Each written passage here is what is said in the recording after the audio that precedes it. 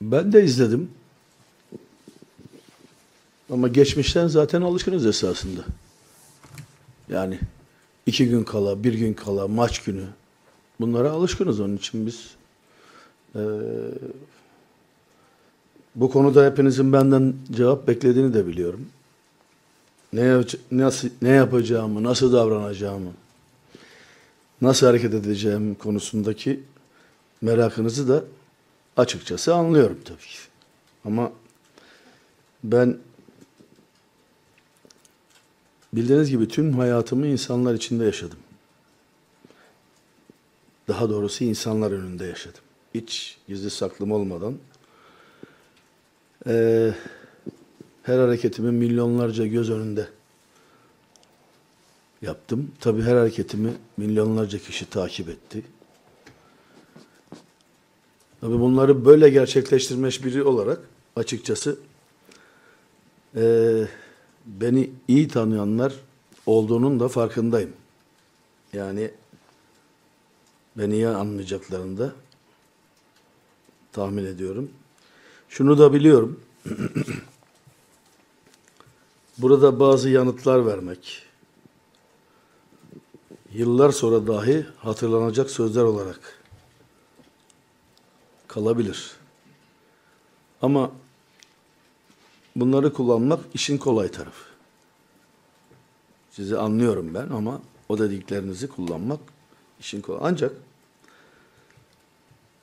ben sezon başında Sayın Başkanımız ile birlikte bu yola çıkarken eee, kariyerimin geldiği aşamada belki de Galatasaray'da son kez teknik direktörlük eee, olarak görev alacaktım. Ve bu noktada geri kalan 50 yılın sağ salim bir değerlendirmesini yaptığımızda benim farklı misyonlar üstlenmem gerektiğine inandım.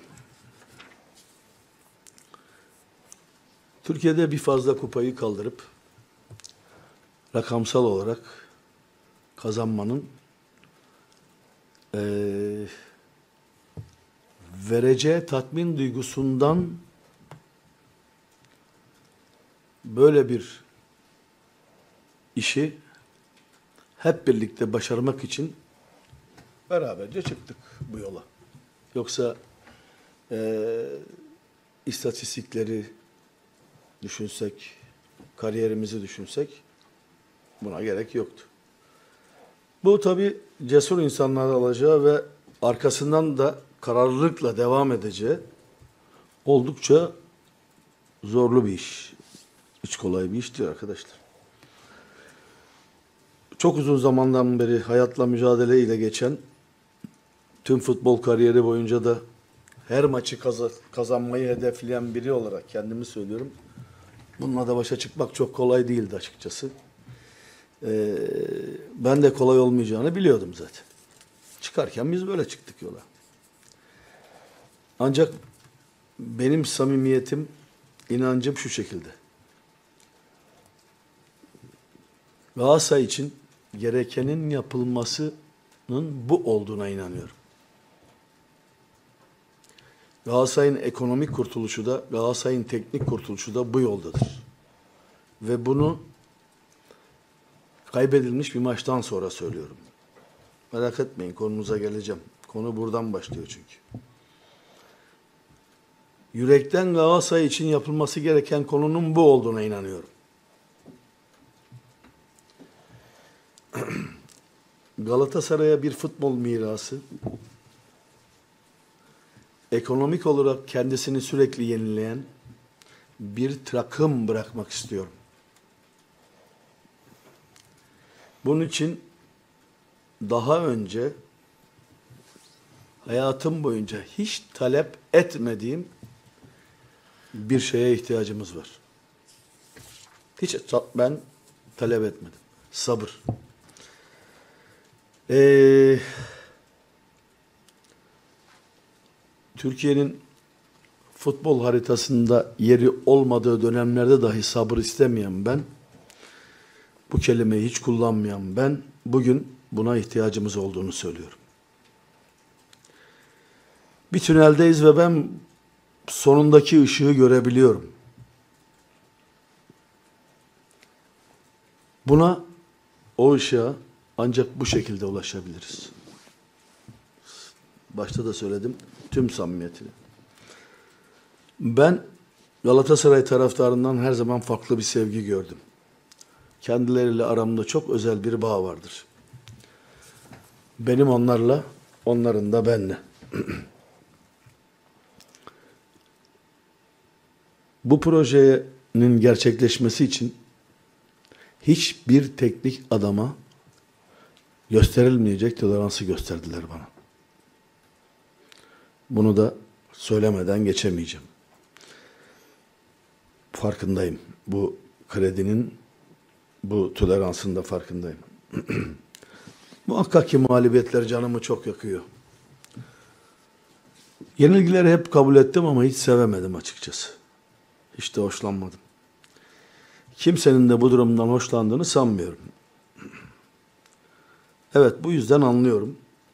Kazanmak çok güzeldir. Bir an evvel o duyguyu tatmak, o duyguyla tatmin olmak. Ee,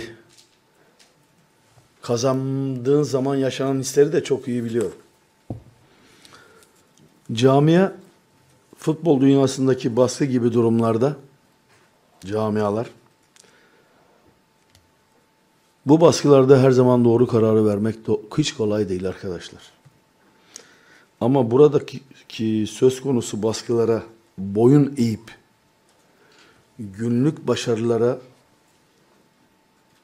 günlük başarıları yakalamak için yanlış kararlar vermeyeceğimizi düşünüyorum. Kolay değil. Maç kaybediyorsunuz, puan alamıyorsunuz, kötü gidiyorsunuz. İşte bunun gazetesi var, televizyonu var, radyosu var, sosyal medyası var, var, e, camia var. Bu baskıya kolay dayanılmayacağını biliyorum. Eğer hep birlikte ileriye umutla bak- bakabileceğimiz bir şey, bir inşa etmeye çalışıyorsak, bir yapı kurmaya çalışıyor isek bunun en büyük kanıtı Avrupa'daki başarımızdır. Son yıllarda olmayan bir başarıyı elde ettik.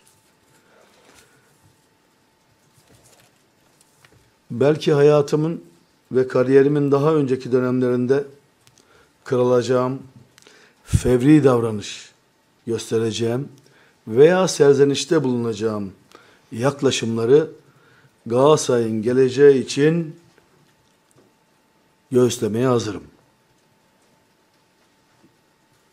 Tabii ki kırılıyorum, tabii ki üzülüyorum ama Galatasaray için hazırım.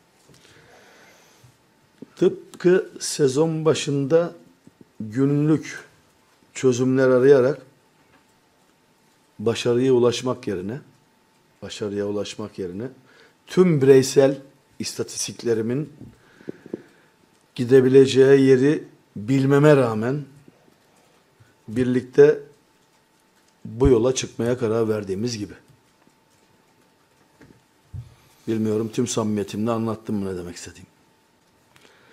İnanıyorum ki istediğiniz gibi olmadı ama satır aralarını okursanız ki okuyacaksınızdır samimiyetimi ve isteğimi anlarsınız.